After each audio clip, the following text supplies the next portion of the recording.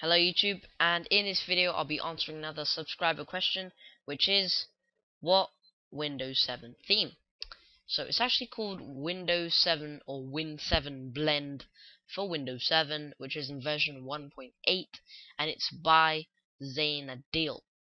So a link to the page on DeviantArt will be in the video descrip description. It's really nice theme really nice and fresh look. It's based on the soft 7 theme. I've done a video on that theme. Really nice. And it's got a really nice fresh and simple look to it which I always like and very good use of the Aero in uh, Windows 7 if you just um, go over to the title bar icons here on the top right you can see that it has a nice light when you hover over it. It's quite nice there. And also a new taskbar and there's no lines when you do Aero Peek, there's no lines going diagonally across. And there's a little fade at the top which is quite nice.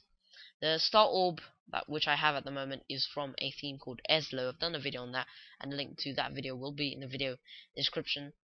And basically to apply this theme you want to go to download and paste it into your themes folder which is in C Windows resources themes and then paste the folder containing the visual style and the theme file into the themes folder and then double click on the theme file and then you should get your new theme. Really great theme. I highly recommend using it for any Windows 7 user who's good at customizing.